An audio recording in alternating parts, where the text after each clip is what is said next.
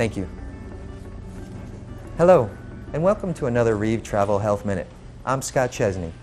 While you're planning to travel, whether it be for work or pleasure, it's important to think of planning as a bridge between where you are now and where you want to be. The first thing you want to think about is transportation. What method of transportation will be needed to leave your house? If you are planning on driving to your destination, be sure to plan out rest stops and bathroom breaks where you can offload. If you are taking a plane, bus, train, or sailing on a cruise, be sure to see what the necessary steps are getting on and off, bathroom accessibility, and possible sleeping arrangements based upon your choice of travel. These planning tips also apply to day trips to museums, amusement parks, and other tourist attractions. Find out what the level of accessibility these locations have and what transportation services are closest to your desired location. Some of those questions may include, is your entire museum, etc., wheelchair accessible? Or are there just parts that are accessible?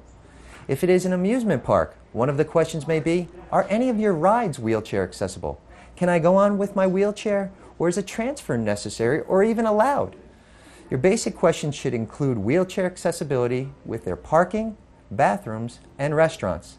With the planning done, there's nothing left but for you to enjoy your adventure. With this Reeve Travel Health Minute, I'm Scott Chesney.